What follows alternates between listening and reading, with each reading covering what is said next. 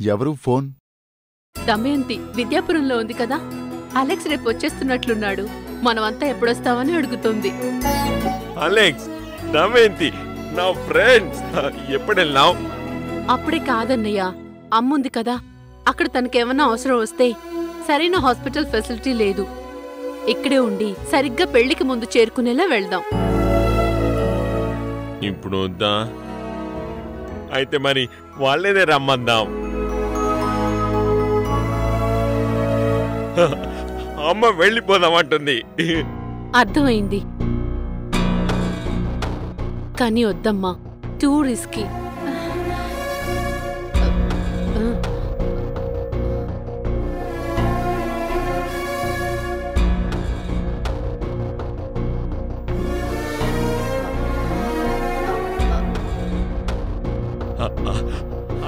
అందరినీ కలవాలని ఉంది. రేపే బయలుదేరదామంటుంది అమ్మా.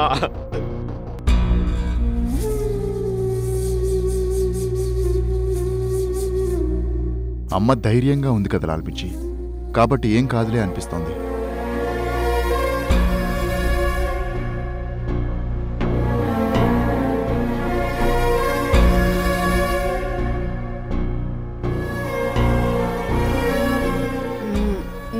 మచ్ మా సరే నువ్వంత అడుగుతున్నావని ఒప్పుకుంటున్నాను.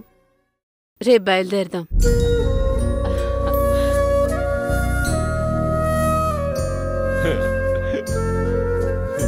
కానీ ఏదైనా జరిగిందో నీతో ఇంకెప్పుడు మాట్లాడను.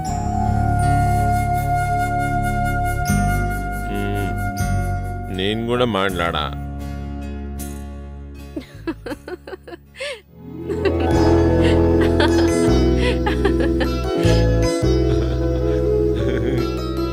అయితే రేపే బయలుదేరదాం. ఎలా వెళ్దాం? విజయవాడ వరకు ఫ్లైట్లో వెళ్ళి అక్కడి నుంచి బై రోడ్ వెళ్ళిపోదామా? అలాగే.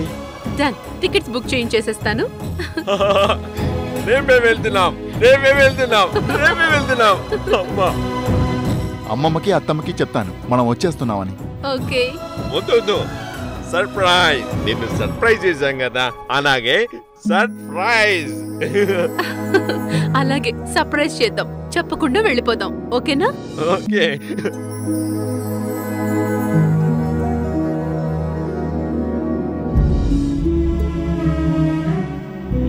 పెద్దవాళ్ళు కదా బాగుండదు అంటుంది అమ్మ. ఏం పర్వాలేదమ్మా విషయాల కోసం కదా ఎవ్వరూ ఏమీ అనుకోరు. పైగా ఉన్నట్లుండి మనల్ని చూసి చాలా సంతోషిస్తారు. అవునమ్మా. నువ్వేం ఆలోచించుకు వెళ్ళిపోదాం. వెళ్దాం అన్నయ్య సర్ప్రైజ్ ఇద్దాం అందరికి. సర్ప్రైజ్. సర్ప్రైజ్. సర్ప్రైజ్. మా.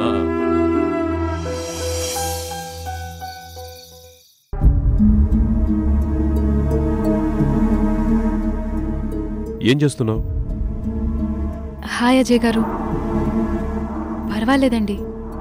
చిన్న చిన్న పనులు చేసుకోవచ్చు. ఇక్కడుండగా కాదు వెళ్ళిపోయాక.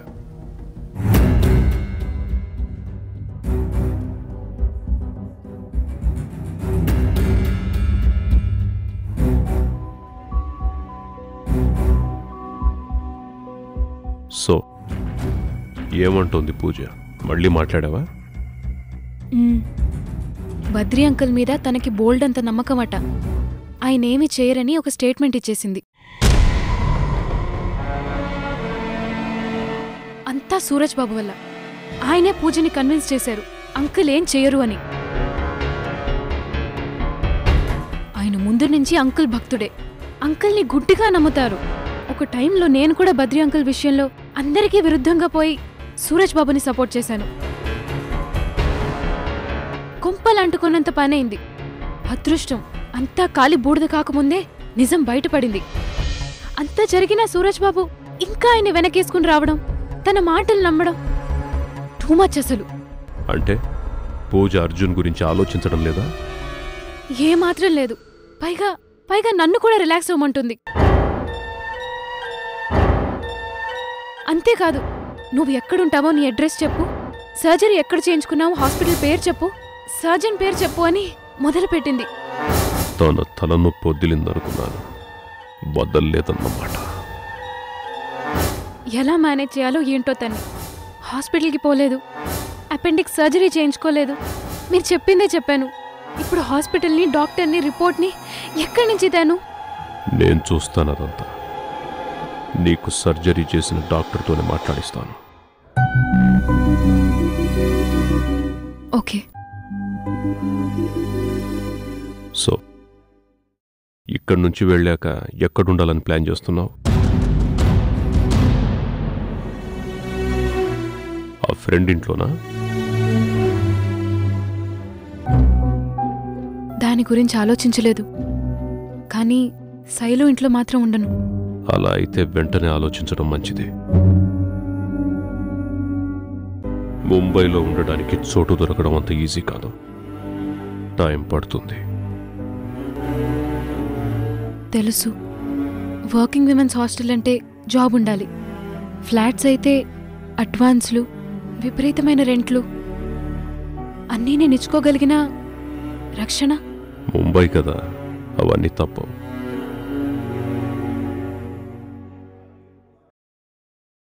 మిమ్మల్ని ఒకటి అడగొచ్చా? ఓ చోటు చూడ్డానికి హెల్ప్ చేయాలి. అంతే కదా? I do it. ఆహా అది కాదు. నేను మీ ఇంట్లో ఉండొచ్చా?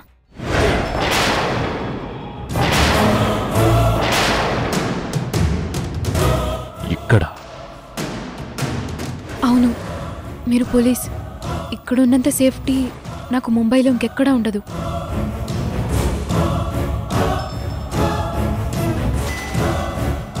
ఫ్రీగా కాదు. పేయింగ్ గెస్ట్గా ఉంటాను. ఇక్కడెలా ఉంటావు? Not possible. ప్లీజ్ నో అనొద్దు. నేను అస్సలు మీ విషయాల్లో జోక్యం చేసుకోను. అసలు నేనున్న విషయం కూడా ఎవరికీ తెలీదు. అంత జాగ్రత్తగా ఉంటాను. మిమ్మల్ని ఏ విధంగానూ ఇబ్బంది పెట్టను. I promise. ఏం మాట్లాడుతున్నావు ఇందు నువ్వు నాతో ఉండడం ఏంటి? ఏ? ఎందుకు ఉండకూడదు? నాకు చాలామంది శత్రువులుంటారు. శత్రువులు ఉంటారు ఇంతవరకు నేను ఒంటరిగా ఉన్నాను. ఇప్పుడు నాతో ఎవరన్నా ఉన్నారంటే నా శత్రువుల దృష్టి వాళ్ళ మీదకి మళ్ళుతుంది. వాళ్ళని అడ్డు పెట్టుకొని నాతో గేమ్స్ ఆడతారు. నేను ఒంటరిగా ఉండడమే ప్రిఫర్ చేస్తాను. కొద్ది రోజులు అజయ్ గారు ప్లీజ్. నా కాళ్ళ మీద నేను నిలబడేంత దాకా. అంతే.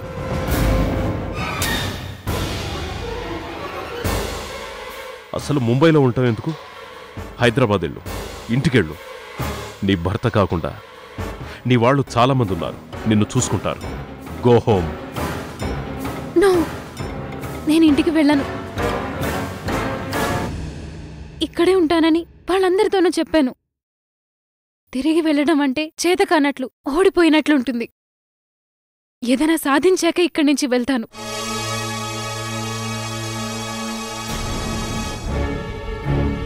ప్లీజ్ నన్ను ఇక్కడ ఉండనివ్వండి అజయ్. నేను మీ మీద ఏ విధంగానూ డిపెండ్ అవ్వను. జస్ట్ ఈ ఇంట్లో ఉంటాను అంతే.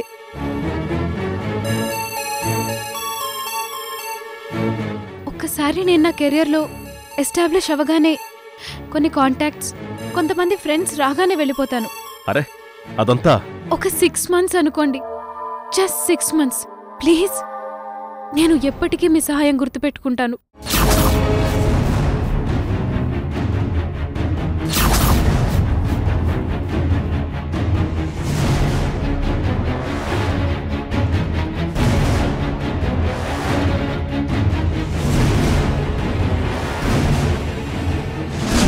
ప్లీజ్ నన్ను ఇక్కడ ఉండనివ్వండి అజయ్. సిక్స్ మంత్స్ అంతే. నాట్ ఎ డే మోర్ ఆరు నెలల తర్వాత వెళ్ళిపోవాలి. Thank you thank you so much నన్ను కాపాడారు.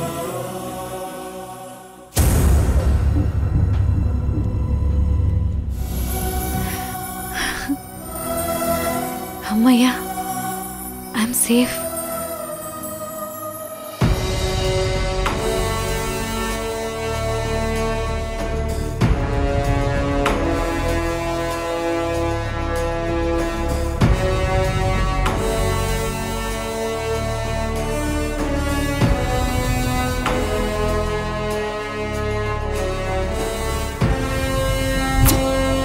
పిచ్చా నీకు?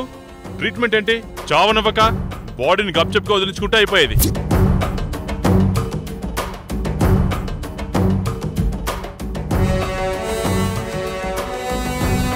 బ్రతకనిస్తే తలనొప్పి కదా. జరిగిందంతా అమ్మాయి బయటికి చెప్తే?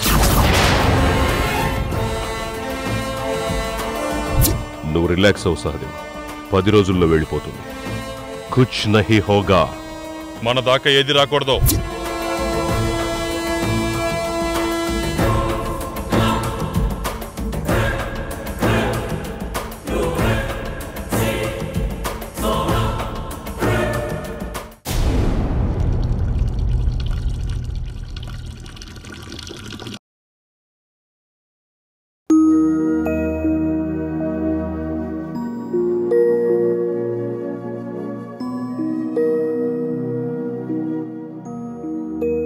ఎంతకాలం అయిందన్నయ్య మనిద్దరం ఇలా డ్రింక్ తీసుకుని. అవును చిన్న. చాలా కాలమైంది. కనీసం ఇప్పటికైనా మనం ఇలా ఉన్నాం. సంతోషం. తప్పు నాదే అన్నయ్య. నిన్ను అర్థం చేసుకోవడంలో చాలా పెద్ద పొరపాటే చేశాను. నన్ను క్షమించి అన్నయ్య. జరిగిందేదో జరిగిపోయింది. ఆ విషయాల గురించి తలుచుకోనీకి బాధపడొద్దు. ఇప్పటికైనా నీ మనసులో నా గురించి ఏ అపోహలు అపార్థాలు లేవు కదా? లేదన్నయ్య. ఏమాత్రం లేవు. అది చాలు నాకు. బద్రీనాథ్ మనిషిని వాడుకుని బద్రీనాథ్ ఇదంతా చేస్తున్నట్లు సృష్టించాలన్న నీ ప్లాన్ బ్రహ్మాండంగా ఉందన్నయ్య. Simply superb. థ్యాంక్స్ రా. నేను నీకు విషయం చెప్పాలన్నయ్య. ఏంటి? నేను నీకు తెలియకుండా ఒక పని చేశాను. ఆ రోజు అమ్మ తన డైరీ గురించి చెప్పిందే.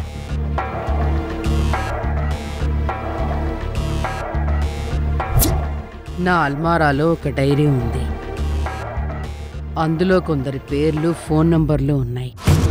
వాళ్ళు మనకి బాకీ ఉన్నారు. వాళ్ళని కాంటాక్ట్ చేసి రావలసింది తీసుకోండి. అవును అది దొరకలేదన్నావు కదా? దొరికింది. సారీ అన్నయ్య అప్పుడు నీ మీద నమ్మకం లేదు కదా. ఏముందా డైరీలో? ఒక అతని నెంబర్. చాలా గౌరవం అతనికి అమ్మంటే ఎప్పుడూ చాలా సాయం చేసిందట. తన వల్ల నిలదొక్కున్నాడట గొప్పవాడయ్యాడట. మనకే సాయం కావాలని చేస్తానన్నాడు. పూజని చంపే పని అతనికి అప్పజెప్పాను. పూజనా? అవునన్నయ్య. నువ్వు అర్జున్ గురించి మాట్లాడేవే కానీ పూజ గురించి మాట్లాడలేదు. నీకు పూజ అంటే ఇష్టం అనుకున్నాను. అర్జున్ని ఫినిష్ చేసి తనతో చేతులు కలిపి మా అందరినీ మోసం చేస్తున్నావు అనుకున్నాను.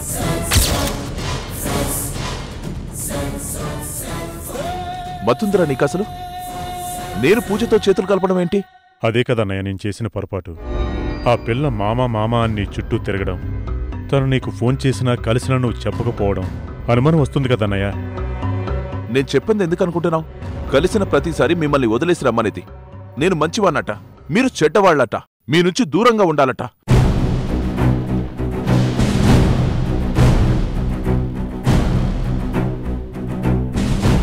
మనల్ని విడదీయాలన్నదే తన ఉద్దేశం డేవిడ్. నువ్వు తను అనుకున్నట్టు చేశావు. ఆడించినట్టు ఆడావు.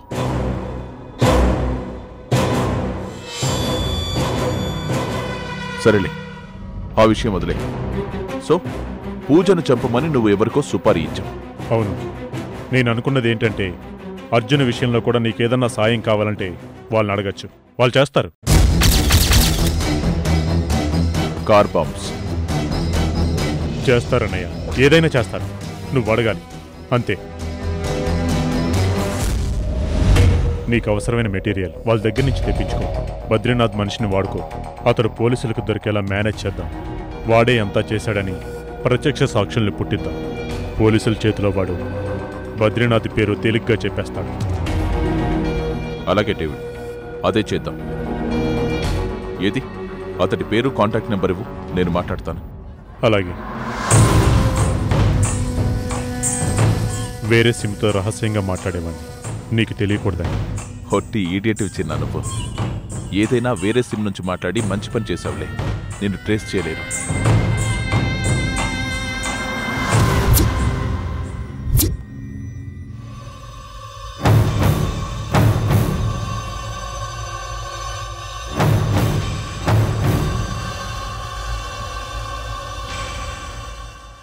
శివశంకర్.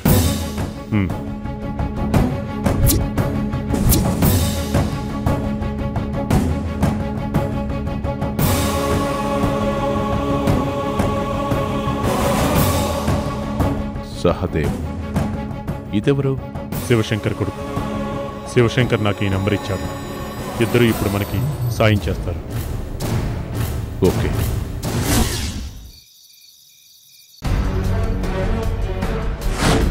నేను మీ ఇంట్లో ఉండొచ్చా? కొద్ది రోజులు Ajay garu please. Six months. అంతే.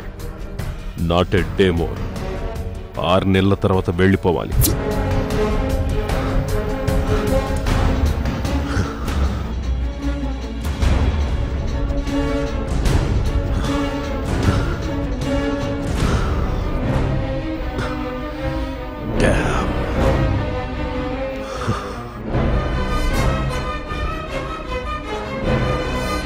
తనుండడం ఎంత పెద్ద హెడక్. నాకు తెలియదా మరెందుకు ఒప్పుకున్నాను? వెళ్ళిపోమ్మని గట్టిగా ఎందుకు చెప్పలేదు? వై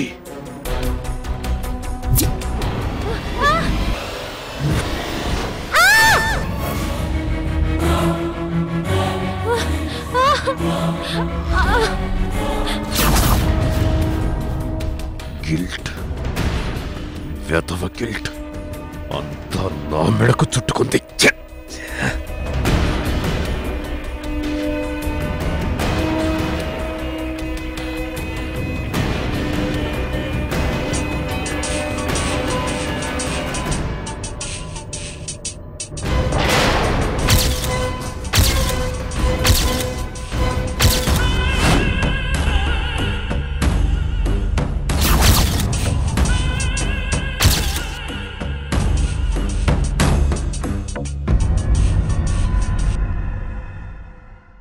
నమస్తే బాబా. ఏమిటి విశేషాలు? కొత్తగా ఏం లేవు బాబా. ఘనశ్యామ్ సంఘటన తర్వాత డీకే కొంత షాక్లో ఉన్నాడు. అదంతా సహదేవ్ చెప్పాడులే. అది కాక ఏమన్నా? ఆహా లేదు బాబా. ఏం లేదు. ఎవరో అమ్మాయి ఉందట నీతో?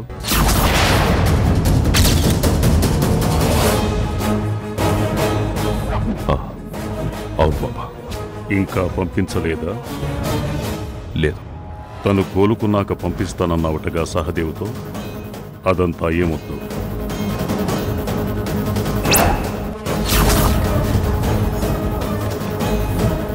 ఇప్పటికే తనని ఇంటికి తీసుకొచ్చి చాలా పెద్ద పొరపాటు చేశావు ఎప్పుడు ఎంతో జాగ్రత్తగా ఉండేవాడి అలా ఎలా చేసావో అర్థం కావటం లేదు. అప్పుడు వేరే దారి కనిపించలేదు బాబా. కత్తిపోటుతో తనను హాస్పిటల్కి తీసుకెళ్ళలేను కదా. హాస్పిటల్కి తీసుకెళ్ళమని ఎవరన్నారు? కాసేపు ఊరుకుంటే రక్తం పోతూ తనువు పోయేది. ఏ గుండానో క్రిమినల్ అయితే అదే చేసేవాణ్ణి. ఈ గొడవలతో ఏ సంబంధం లేని ఒక ఆడపిల్ల. అలా చేయలేకపోయాను. సరే ఏదో చేశావు? అయిపోయింది. తను కోలుకునేదాకా ఆగొద్దు. వెంటనే తనను పంపించేయి.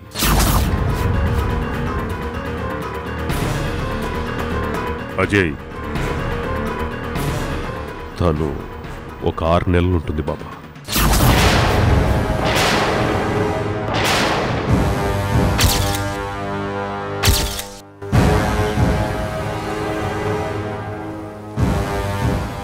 ఏమన్నావు? సరిగ్గా వినపడలేదు అజయ్ మళ్ళీ చెప్పామన్నావు